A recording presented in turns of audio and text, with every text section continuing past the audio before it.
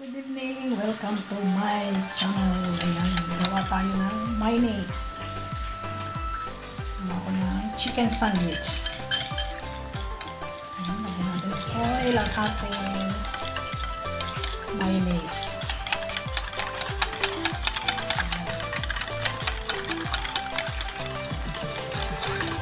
So, ito po ay ang aking recipe is um, two egg, one egg yolk, and two egg yolk. Ating recipe ng paggawa ng mayonnaise. So, yan. Nagtaga natin. Two egg yolk, two egg yolk lang po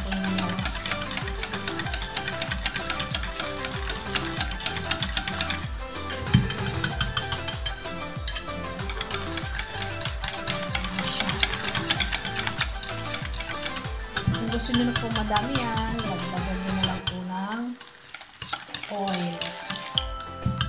Kung anong prepared nyo oil, olive oil, or vegetable oil.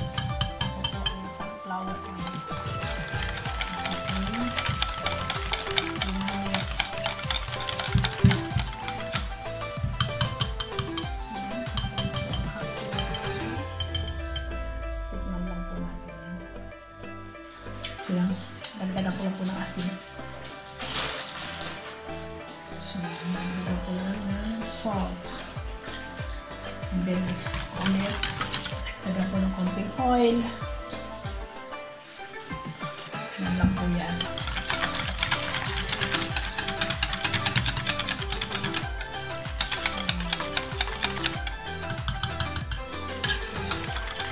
So, natin yan, nagalit ko.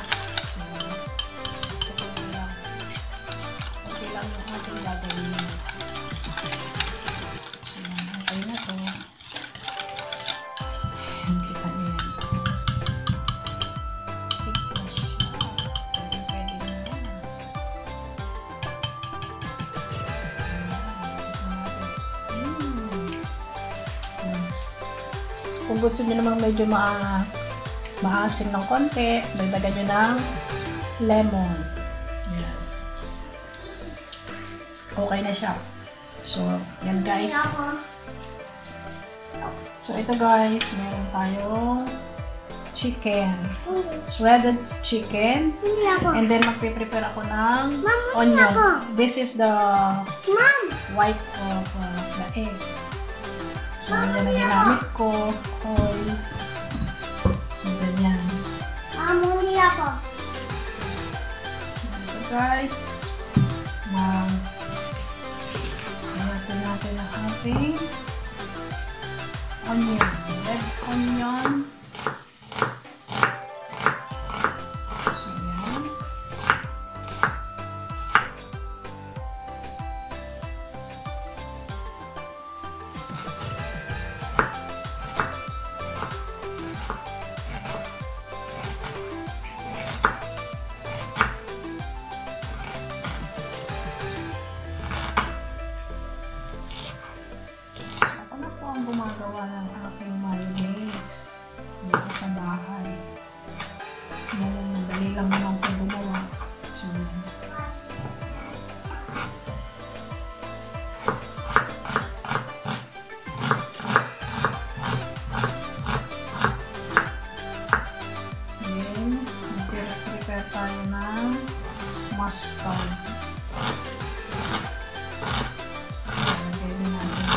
Mustard sa ating chicken.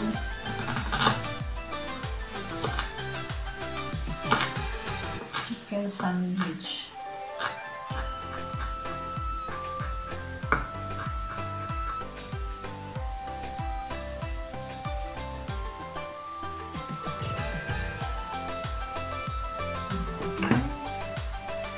Ito ang ating recipe. Lagay natin ang chicken. Lang naman po kasi wala naman ako ingredients na talagang ano kasi kung ano lang yung nandito sa aking kitchen so yun lang ating gagawin. So gusto ko madaming onion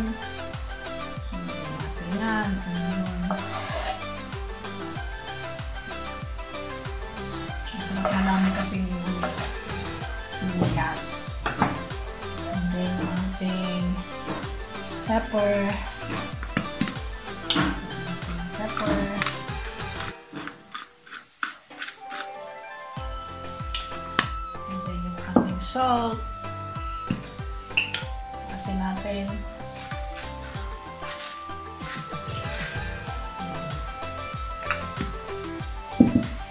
And then, yung ating mustard. 2 teaspoon. Mustard natin. Ayan ang mustard. Sarap kasi pag may mustard. Dati ayaw ko niyan.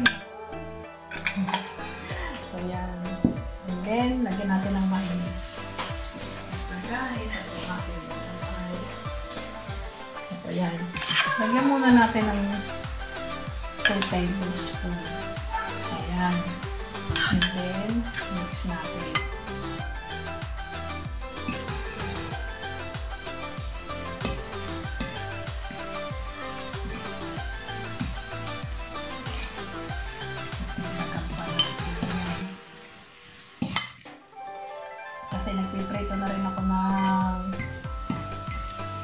French fries. Homemade din. So. Fresh, fresh potato. Ayan. Ganyan lang naman kasimple. Kung ano lang available dito sa aking kitchen. So, yan. So, lalagyan natin ng parsley. So, okay na naman yan. Mm. Okay na siya. Mix-mix lang natin. Piruin nyo, oh, nagawa ko dalawang egg yolk na mayonnaise. So, may natira pa tayo. And then, ito ating chicken. Ano lang siya? Ah, ilang pounds ba yan? Isang breast chicken lang yan. Kalahati, lang yung bu- buong breast ng chicken. So, yun lang yung inilagay ko. Yun lang niluto ko. Kasi yung kalahati, niluto ko kagabi. Sopas. Sopas kami kagabi. So, yan. Tikman natin. Hmm. Kulang pa ng asin. Dagdagan natin.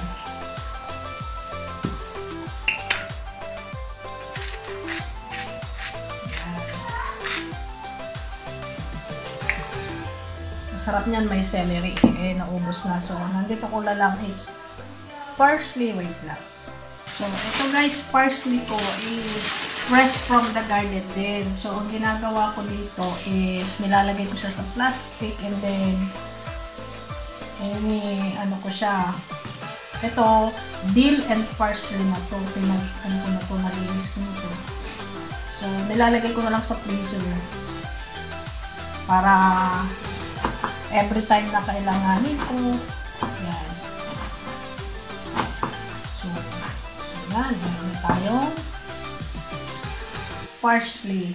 So, ito guys, yan, no? Ating pipinuhin pa.